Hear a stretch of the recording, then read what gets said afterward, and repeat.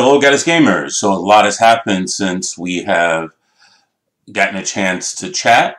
Um, looks like our uh, uh, our game that was set in the far future conflict uh, has come a little bit closer to real life.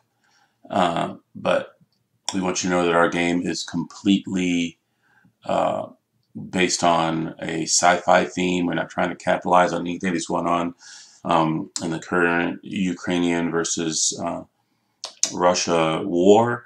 Um, and our hearts go out to all the people of Ukraine that are suffering under this invasion. Uh, but we just wanted to let you know we have done a lot since um, since we last spoke. Uh, we've we finished the rule book.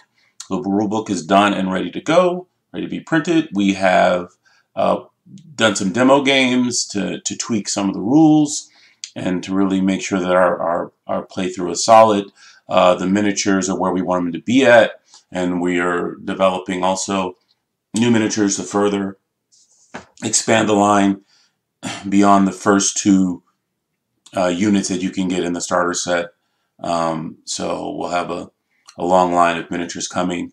Um, you know, we had to make some executive decisions around uh, the financial constraints that we have as a small independent company between 28 millimeter and 15 millimeter.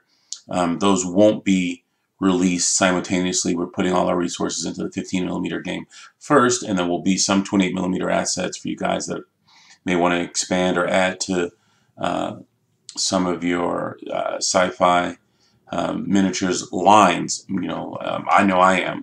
So, um, but the 15 millimeters will be what we'll be focusing on first.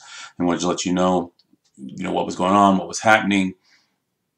And you can see, you know, uh, from the images here uh, that it is uh, beautiful. The models are beautiful. The uh, uh, the gameplay is going to be awesome, and, uh, and, I can't wait for you guys to try it. Um, and I'll continue to post more stuff up more regularly as things settle down. We've been getting stuff ready for Adepticon, uh, which is right around the corner. So um, like, share, do all the things.